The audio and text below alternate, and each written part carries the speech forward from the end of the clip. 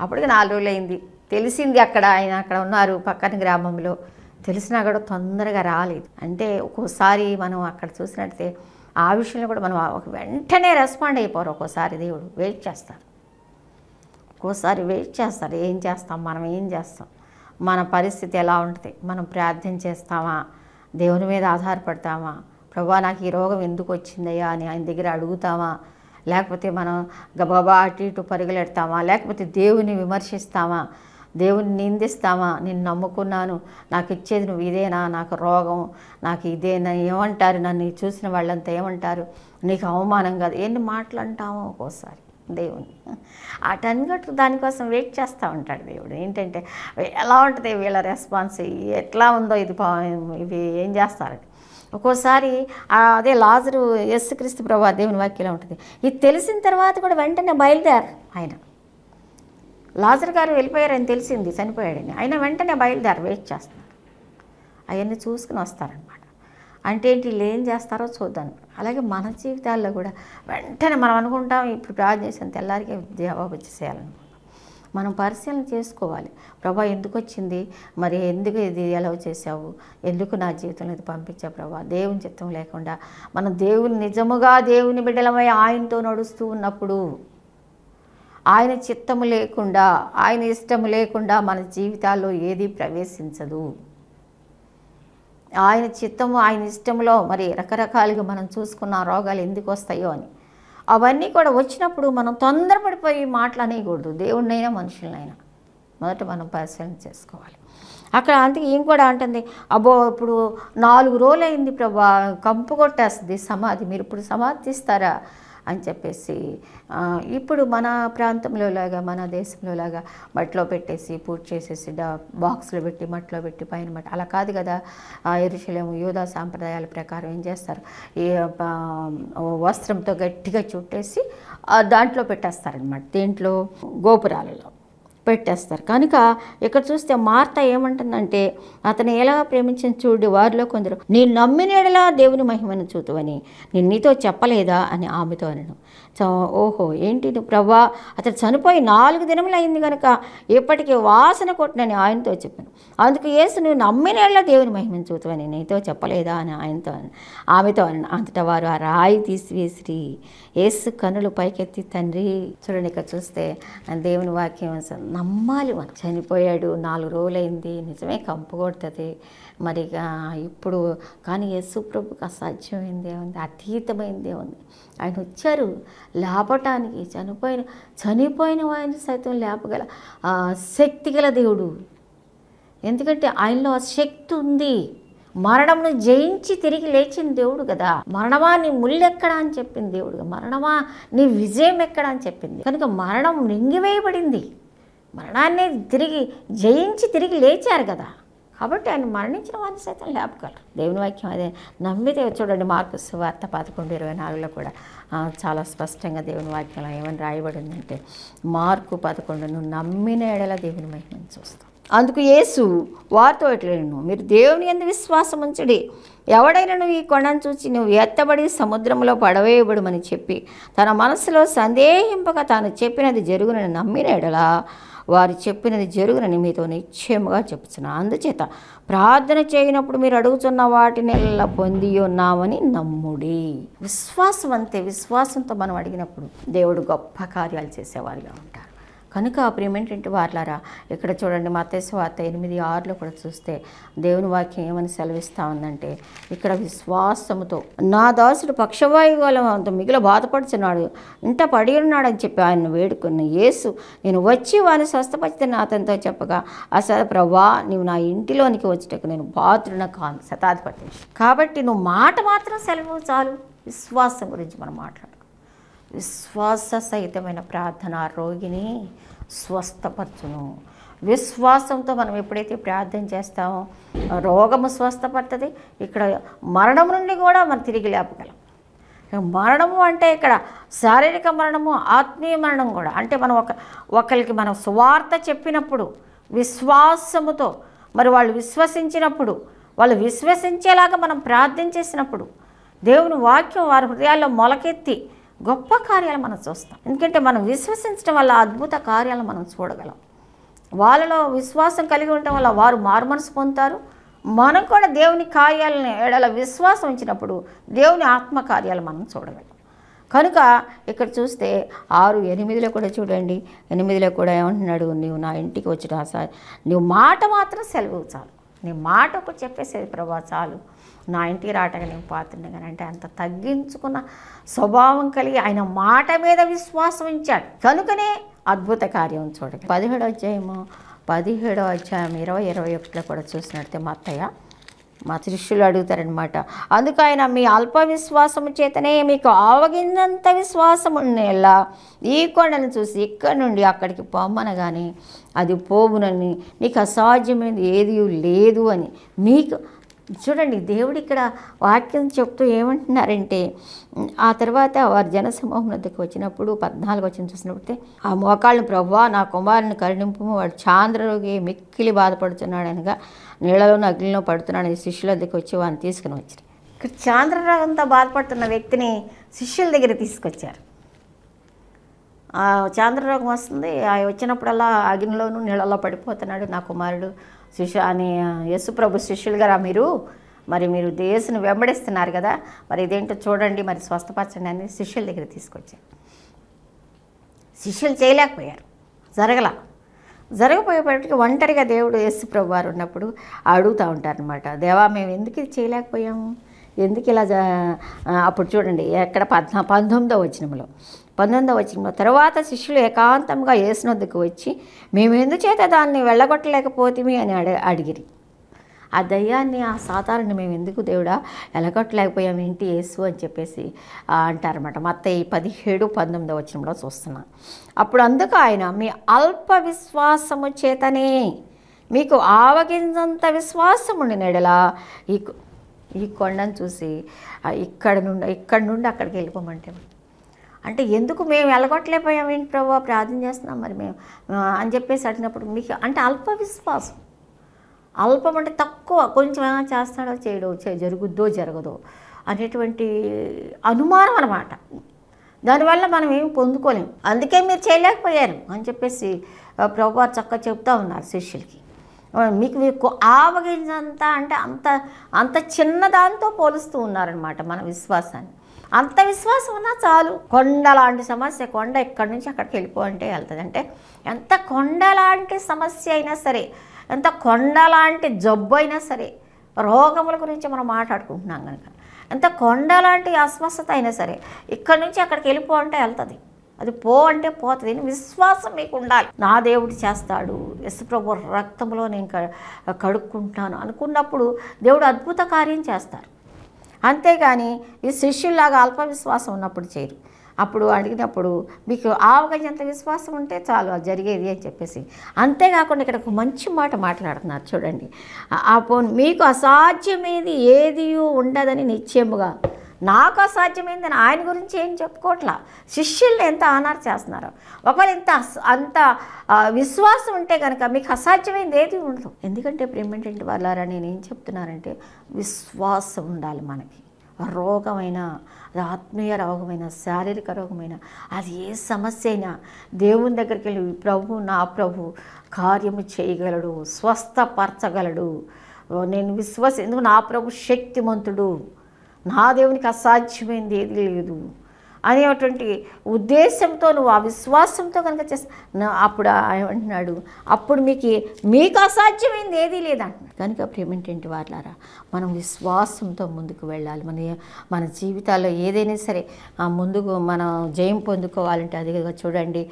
ఆ వార్త తొమ్మిది ఇరవై మూడులో కూడా చూసినట్టే దేవుని వాక్యం ఏమని సెలవిస్తా ఉందంటే అందుకు యేసు నమ్మటని వలన అయితే నమ్మటమే మన వల్ల అవ్వాలి. నమ్మువానికి సమస్తము సాధ్యమే అని చెప్పి వెంటనే ఆచిన అంతండి నమ్ముతున్నాను నాకు అపనమ్మకము కలగకుండా సహా చాలా మంచి మాట చెప్తున్నాడు నాకు అపనమ్మకం కలగకుండా సహాయం చేయండి నమ్ముతున్నా నేను. మన వల్ల అవ్వాల్సిందంటే నమ్మటమే నమ్ముట నీ వలనైతే. ఏమిటంటే వాళ్ళారా మన జీవితాల్లో ఎటువంటి పరిస్థితులు ప్రతికూలంగా వచ్చిన అనారోగ్య పరిస్థితులు ప్రతికూలంగా వచ్చిన జబ్బు రోగము ఏది కూడా మనం మన దేవుని నుంచి మనల్ని వేరుపరిచేదిగా ఉండకూడదు. దాన్ని బట్టి మనం దిగులు పడిపోయి దేవుని సన్నిధికి దూరం అయిపోయి ప్రార్థన జీవితానికి దూరం అయిపోయి ఆయన స్నేహానికి దూరం అయిపోయి ఆయన ప్రేమకు దూరం అయిపోయి మనము వ్యసన పడవలసినంత పరిస్థితి కాదు. అదంతా నా అది అది దేవుని దగ్గర నుంచి దాటి రావాలని చెప్తున్నాను నేను. అది ఆయన మనకి ఎలా చేస్తేనే వస్తాం మనకి ఎలా చేయకపోతే రాదు. ఎందుకంటే నన్ను ముట్టినవాడు కనుగొట్టిన నిన్ను ముట్టినవాడు నాకు కనుగొట్టు ముట్టి ఆయన కనుగొట్టు ముట్టి మా మన దగ్గరికి రావాలి. యోగ గ్రంథాలను కూడా చదువుతాం కదా అక్కడ దేవుడు పర్మిషన్ ఇచ్చినాకే వాడు వచ్చాడు. అంతే ఇలా అంతకుముందు ఏమన్నాడు? అటు ఇటు తిరుగుతా వస్తున్నాను నా సేవకుడు గురించి నువ్వు ఆలోచించావా అని ఎంత గర్వంగా చెప్పుకున్నారు ప్రభు. కాబట్టి ఇప్పుడు ఏమిటంటే వాళ్ళ మన జీవితాల్లో ఆయన ఎలా చేస్తేనే వస్తాయి. కనుక అది ఏదైనా ఏ జబ్బు అయినా సరే అది ఏ అస్వస్థ అయినా సరే ఆయనకి అసాధ్యం. మనం నమ్మాలి ప్రభు నన్ను స్వస్థపరుస్తాం. కనుక అలా స్వస్థపడినప్పుడు దేవుడు అద్భుత కార్యాలు చేసేవారుగా ఉంటారు. తర్వాత చూసినట్టే మా పదకొండో అధ్యాయంలో మనం దేవుని వాక్యానికి మనం వెళ్ళిపోతే ఇక్కడ లాజరు బయటికి రమ్మని బిగ్గరగా చెప్పగా చనిపోయిన వాడు కాళ్ళు చేతులు ప్రేత వస్త్రములతో కట్టబడినవాడే వెలుపలికి వచ్చి అతని వస్త్రం అతని మూలంగా అతని ముఖములకు రుమాలు కట్టి ఉండను. అంత యేసు మీరు అతని కట్లు విప్పిపోనీడి లేపారు చక్క గట్టిగా లాజరు బయటికి రా చూడండి దేవుని యొక్క శక్తి. చనిపోయి నాలుగు దినాలు అయిపోయి వాసన కొడుతున్నా సరే దేవుని మాట విని వెంటనే మరి బయటకు వచ్చినట్టుగా దేవుని వాక్యం. మరి సెలవిస్తూ ఉంది. వెంటనే లేచి బయటకు వచ్చినప్పుడు ఆ కట్లు మీరే విప్పండి. కనుక ఎన్నో కట్లు వాటన్నిటిని కూడా విప్పి విప్పబడి మళ్ళీ తిరిగి మళ్ళీ మనుషుల్లోకి వచ్చినట్టుగా దేవుని వాక్యం సెలవిస్తాం లాజరు బయటికి రమ్మని బిగ్గరగా కేక వేసినప్పుడు కట్టుబడి వెలుపలికి వచ్చిన అతని ముఖమునకు రుమాలు కట్టుబడి అతను ఏసు మీరు అతని కట్లు విప్పి పోయినట్టు వారితో చెప్పాను. కాబట్టి ఈ అద్భుత కార్యం చూడండి చనిపోయి నాలుగు దినముల తర్వాత మళ్ళీ తిరిగి లాజర్ లేచాడు. దేవుని మాటను బట్టి ఆయన మాటలో శక్తి ఉంది. ఆ పునరుద్ధాన శక్తి ఉంది. చనిపోయిన వారికి సైతం తిరిగి లేపగల శక్తి ఉంది. అంత శక్తి గల దేవుడిని నువ్వు కలిగి ఉన్నా కాబట్టి ప్రిసదుడి ప్రిసదుడా నువ్వు భయపడవలసిన పని లేదు. నీకు ఎటువంటి రోగం కలిగినా సరే ఎటువంటి వ్యాధి అయినా సరే అది అది ఆయన స్వస్థపరచలేని వ్యాధి కాదు. కనుక విశ్వసించు. దేవుని దగ్గరికి రా. ఆయన ఆయన ఆయన్ని ముట్టుకోమని అడుగు. ఆయన్ని తాకమని అడుగు. విశ్వాసంతో ఆయన అడుగు. ఆయన తప్పకుండా నీ జీవితంలో గొప్ప కార్యం చేస్తారు. అప్పుడు దేవుని నామానికి మహిమ వస్తుంది. చూడండి అప్పుడు కాబట్టి మరియ యొద్దకు వచ్చి ఆయన చేసిన కార్యమును చూసిన యూదుల్లో అనేకులు ఆయన ఎందుకు విశ్వాసం ఉంచారు. తద్వారా మన జీవితాల ద్వారా అనేకులు దేవుని దగ్గరికి రావడానికి విశ్వాసం ఉంచడానికి అవకాశం ఉంటుంది. మన జీవితాలే ఒక సాధనాలుగా. ఒకవేళ నీకు రోగం వచ్చిందని బాధపడుతున్నావేమో బాధపడుతున్నావేమో నిన్ను స్వస్థపరిచి దేవుడు మహిమ కొరకు వాడుకోవాలనుకుంటున్నారేమో. దేవుడు నా మహిమార్థమే.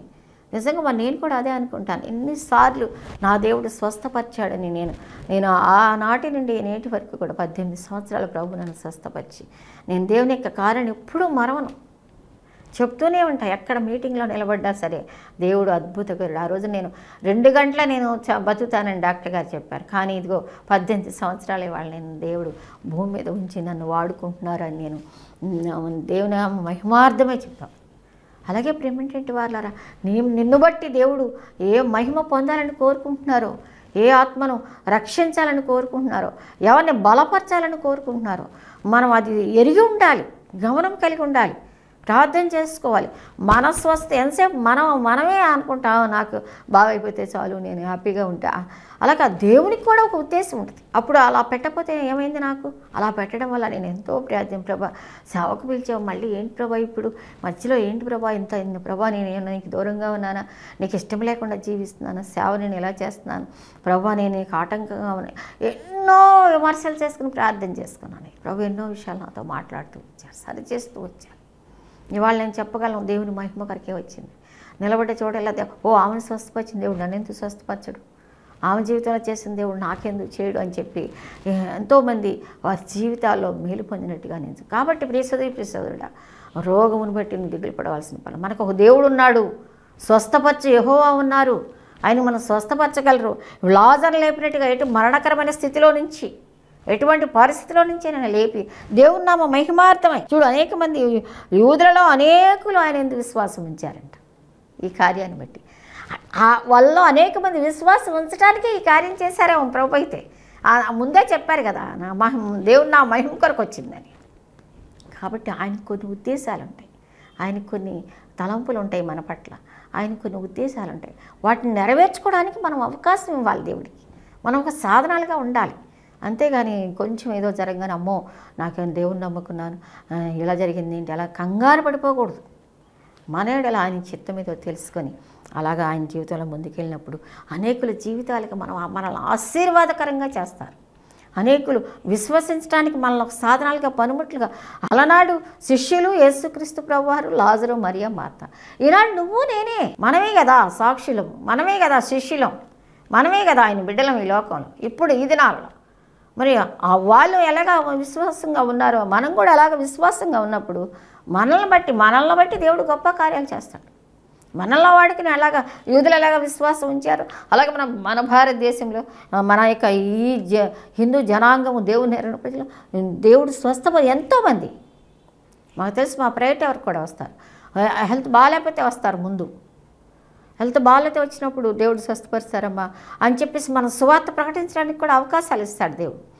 హెల్తే కాదు సువార్త కూడా మనం ప్రకటించినప్పుడు వాళ్ళకి స్వస్థత వస్తుంది. వెంటనే వాళ్ళ ఆత్మీయ స్వస్థ కూడా పొందుకుంటారు. చూడండి దేవుడు అప్పుడు దేవుడు డబుల్ బ్లెస్సింగ్ ఇస్తాడనమాట. ఆశీర్వాదకారకులుగా మనల్ని చేస్తాడు వాళ్ళని ఆశీర్వదిస్తాడు. కనుక అట్టి కృపా దేవుడు నీకు దయచేస్తాడు. అటు కలవరపడబాక కంగారు పడబాక దేవుని వైపు చూసినప్పుడు దేవుడు గొప్ప కార్యాలు చేయడానికి ఇష్టపడుతూ ఉన్నారు. కనుక ప్రేమేంటంటే వాళ్ళ విశ్వాసంతో మనం ముందుకు వెళ్ళాలి. అంతేకాదు దేవుని వాక్యంలో మనం చూసినట్టయితే ఆ విధంగా లాజర్ విషయంలో గొప్ప కార్యం చేసిన దేవునికి వందనములు తెలియజేస్తూ ఉన్నాం. ఈ దినాల్లో ఎంతోమంది లాజర్లని అలాగే లేపి దేవుడు ఇంకా గొప్ప కార్యాలు చేయాలని మనం ఆశిద్దాం. అటువంటి లాజరు నువ్వే నేనే మనల్ని కూడా లేపి ఒక సాక్షిగా నిలబెట్టాలని శిష్యులము నువ్వు నేనే మనల్ని కూడా వాడుకునే అలాంటి గొప్ప కార్యాలు దేవుని చిత్తాలు నెరవేర్చుకోవాలని మనం ప్రార్థన చేసుకుందాం. అంతేకాదు చూడండి దేవుని వాక్యంలో చూసినట్టయితే యేసుక్రీస్తు ప్రభువారే కాదు. మనం గత వారం కూడా మాట్లాడుకుంటా వచ్చాం. ప్రభువారు అద్భుత కార్యాలు చేశారు. మంచిదే కాదంట్లా. కానీ ఆయన శిష్యులకు కూడా అట్టి శక్తినిచ్చారు చాలామంది మన బైబిల్ గ్రంథంలో మనం చూసుకుంటా వస్తే పౌలు గారికి పేతురు గారికి వీళ్ళందరికీ కూడా ఆ యొక్క మరి దేవుడు ఆ శక్తిని ఇచ్చినట్టుగా పునరుద్ధాన శక్తిని ఆ యొక్క ఆత్మశక్తిని ఇచ్చినట్టుగా స్వస్థత వరములు స్వస్థత ఆ యొక్క ఇచ్చినట్టుగా మనం దేవుని వాక్యంలో ఎన్నోసార్లు చదువుతూ వస్తున్నాం. పోయిన వారంలో కూడా పౌలు గారి గురించి మనం మాట్లాడుకుంటా వచ్చాం. ఎంతో గొప్ప కార్యం కిటికీలో పడి చనిపోయినటువంటి ఆ యవనస్తుని లేపారు కదా. యేసుక్రీస్తు ప్రభు ఆయనే కాదు.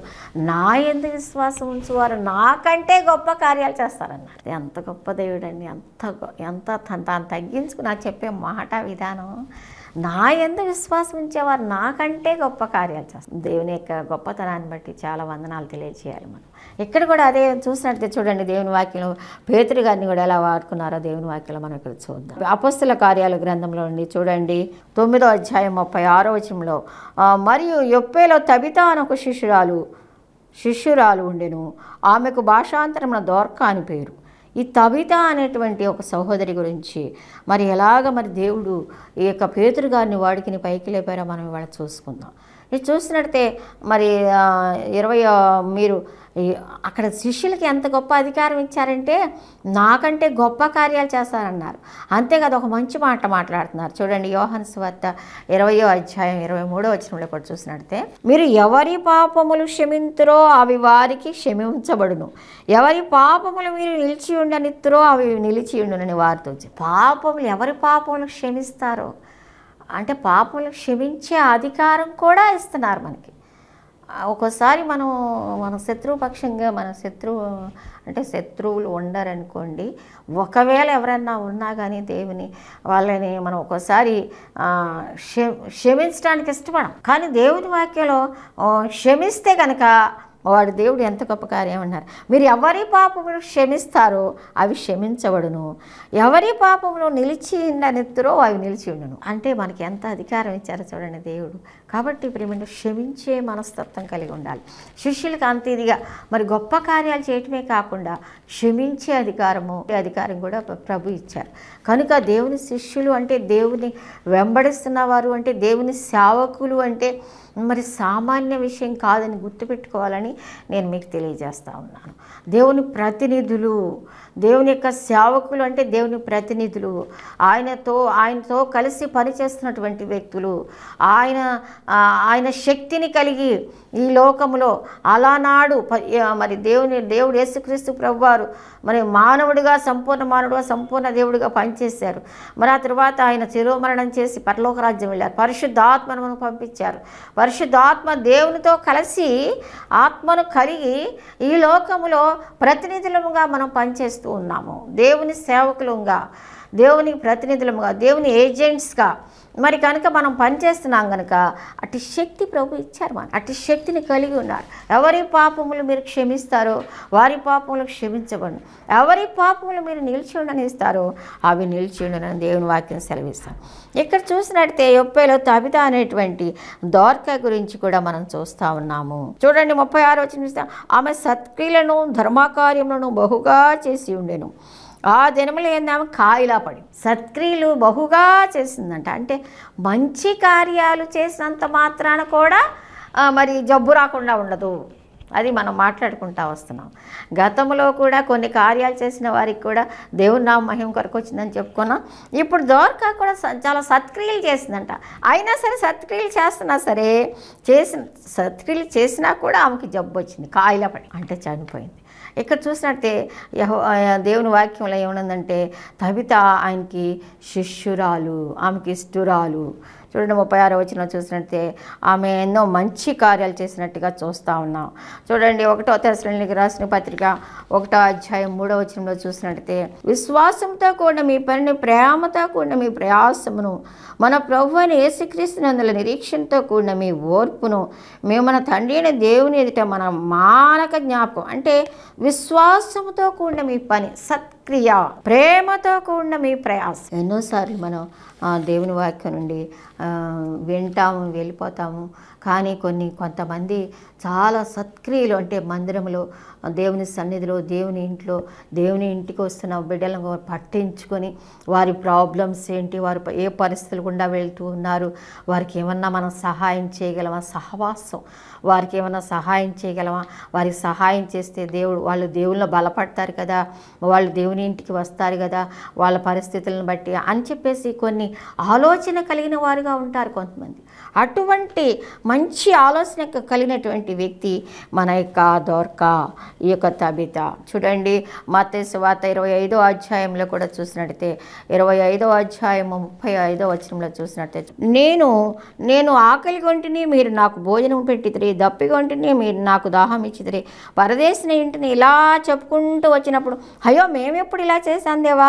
మేమెప్పుడు నువ్వెప్పుడు ఆకలిగా ఉన్నావు? మేమెప్పుడు పెట్టాము అని చెప్పేసి అంటున్నప్పుడు దేవుడు చాలా మంచి మాట అందుకు ఆయన నలభై ఐదో వచనంలో మిక్కిలి అల్పులైన వీరిలో ఒకరికైనా మీరు ఇలాగూ చేయలేదు కనుక కాబట్టి మిక్కిలి అల్పులైన వారిలో ఒకరికి చేశారు కనుక నాకు చేసినట్టే అని చెప్పేసి మీరు నాకు బట్టలు ఇవ్వలేదు రోగులు లేదు ఇలాగ చేశారు కాబట్టి నన్ను చూడండి మిక్కిలి అల్పులైన నలభై వచనంలో మిక్కిలి అల్పులైన ఈ నా సహోదరులలో ఒకనికి మీరు చేస్తారు కనుక నాకు చేస్తారని నిశ్చయంగా దేవుని వాక్యం ఏమైనా సెలవిస్తుందంటే మిక్కిలి అల్పులైనటువంటి అంటే చాలా అల్పంగా ఉన్నటువంటి పరిస్థితులు బాగున్నటువంటి మరి స్థితిగతులకు బాగున్నటువంటి వారికి మీరు ఎలా చేశారో అలా చేసినప్పుడు వాళ్ళు నాకు చేసినట్టే.